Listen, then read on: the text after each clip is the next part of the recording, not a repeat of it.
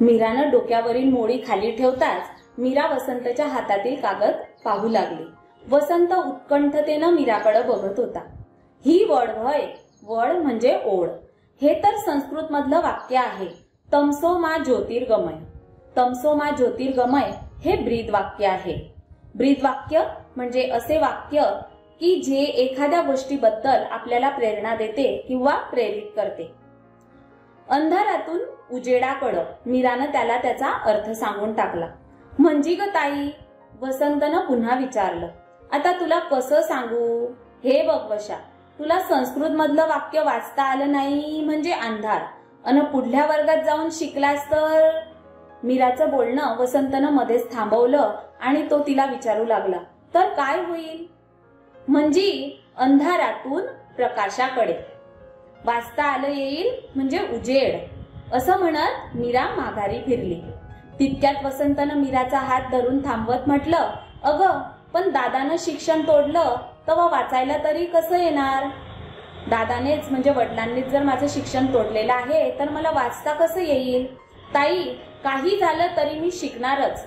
त्याचं हे बोलणं ऐकून तडातडा तुटणाऱ्या उसागत वसंताचंही शिक्षण तुटत असल्याची जाणीव शंकरला झाली. शंकरला म्हणजे त्याच्या वडिलांना. बाजार असल्यानं आज तोडणी बंद होती. ज्या दिवशी गावाचा बाजार असायचा त्या दिवशी तोडणी बंद असायची. आजूबाजूच्या कोप्यावरली सारी पोरं शाळेत गेल्यानं वसंत एकटाच कोपी बाहेर बसून काय करावं या विचारात होता. शेजारच्या कोपीतून दामूची बायको लक्ष्मी कालवणाच्या फोडणीचं वाटण वाटायला आली. पाट्यावर मीठ मिरची वाटता वाटता लक्ष्मीनं वसंतकडे पाहिलं.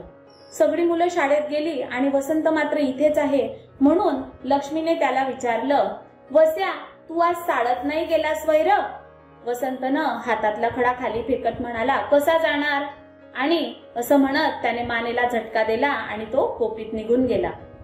आवो ओ वसंतची माय असं म्हणत लक्ष्मीनं ताराला साथ घातली.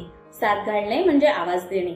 आले ओ माय आले आले. म्हणत खाली वाकत कोपी बाहेर आलेल्या ताराला पाहून आव समधी लेकरं साडायला गेली आणि तुपलं. वस्तीवरच्या सगळ्यांची मुलं शाळेत गेली होती. ती साखर शाळेत जात होती. ऊस तोडणी कामगारांचे जीवन नेहमी स्थलांतरित असते.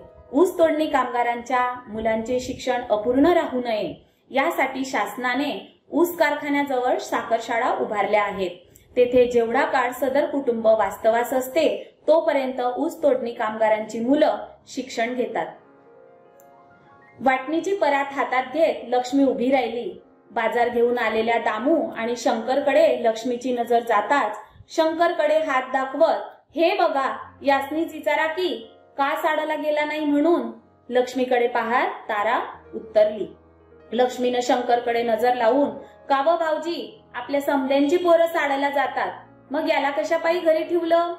त्याचं शिकायचं वय हाय तर शिकू द्या. मोठा झाला की कामच करणार हाय. लक्ष्मीला आणि ताराला खूप मनापासून वाटत होते की वसंतने शिक्षण घ्यावे.